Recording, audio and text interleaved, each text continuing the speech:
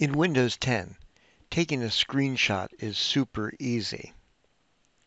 On your keyboard, hold down the Windows key, the Shift key, and then tap the S as in screenshot. When you do that, you'll see your screen dims. At the top, there's a menu. Those icons mean different things. I can make a rectangular snip. I can do freeform. I can do a Windows snip or I can do a full screen snip. I'm going to do the first one, a rectangular snip. And this means my cursor has turned into a cross. And I can now hold down the left button and drag to whatever I want to copy.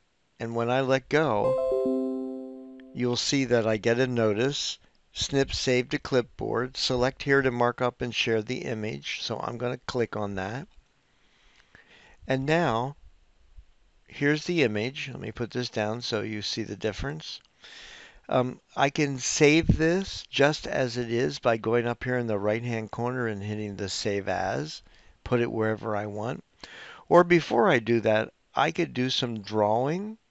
I could use a pencil, I could use a pen, I could use a highlighter. So I'm going to click on the highlighter and there's a down arrow there.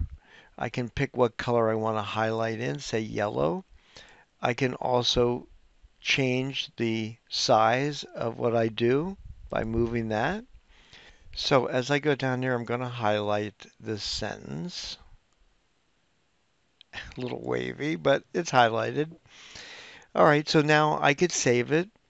Um, I can also do some other things. I can crop the image. Suppose I did a screenshot and I captured more than I wanted.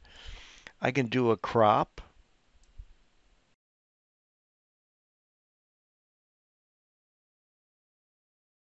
and change what I want to capture.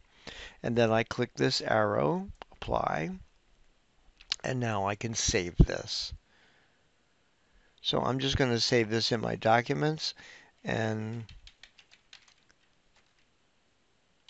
I'm just going to call it screenshot test.